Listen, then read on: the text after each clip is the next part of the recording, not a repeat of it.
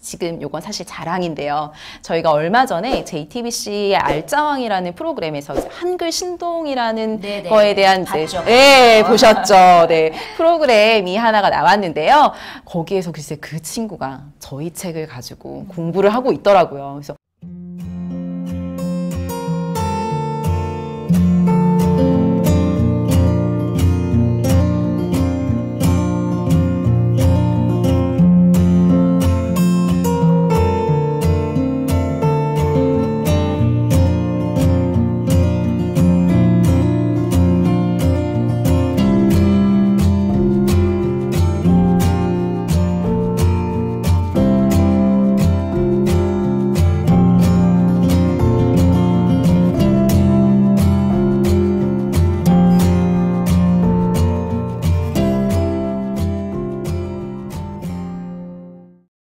정말 만든 사람으로서 굉장히 뿌듯한 그런 사례였는데요. 사실 이 기회를 통해서 많은 아이들과 많은 부모님들이 저희 책을 가지고 그래 한글 홈스쿨링 할 수 있어. 아 이렇게만 하면 쉽게 되겠네라는 용기도 얻으시고 좀 많이 저희 쪽에 관심을 가져주셨으면 네. 좋겠어요. 네. 네. 그 외로요, 우리 티출판사 유튜브 채널에서는 어, 우리 책에 들어있는 일부 동영상도 올라가 있고요. 또 추가 학습 자료들, 동영상, 영상들 많이 네. 올라가고 있거든요. 그래서 꼭 확인을 해주시고, 어, 그리고 또 우리 한글 공부하면서, 한글 홈스쿨링 네. 하면서 또 재미있는 한글 활동들 진짜 많거든요. 네, 맞아요. 예, 그런 부분들은 저희가 다음 영상에서 조금 소개해 드리도록 하겠습니다.